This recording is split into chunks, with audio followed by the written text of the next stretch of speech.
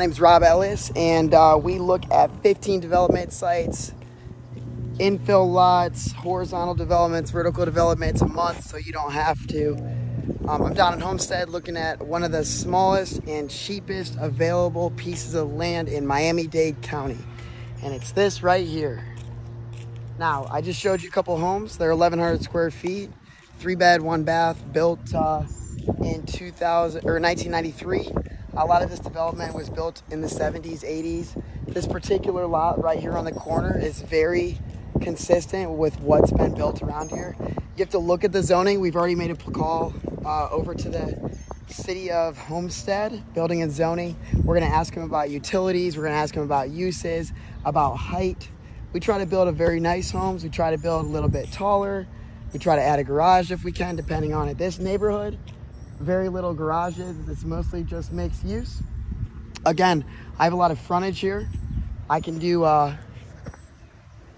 depending on if I can get curb cuts, you can see that it's pretty common to get those curb cuts over here. So if we have the frontage here, we might be able to put two housing units um, through a planned development, but this also could sit in a subdivision. Um, I have to look a little bit further, depending on if it's a city lot or if there's covenants and restrictions, you have to look at what that is. But you can already see that more than likely there was already a home that got torn down. This already has a curb cut, which is my background. Seven years as a demolition contractor. We used to tear down homes like this. Now we build them back up. So um, if you're out here looking for infill lots in Miami-Dade, you want to enter the market, you want to start building, uh, investing, it's the number one way to do it. Designing homes to be characteristic of the neighborhood is what we do. Is an example. It's very mixed use. You have apartments, you have a church, you have some industrial here, small residential.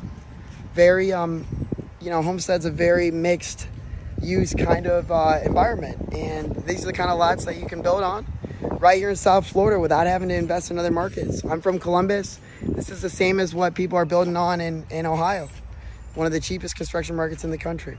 So thanks for joining. Keep watching. If you guys are interested in infill, development, zoning, rezoning, capital partnerships, investing, let us know. We got you.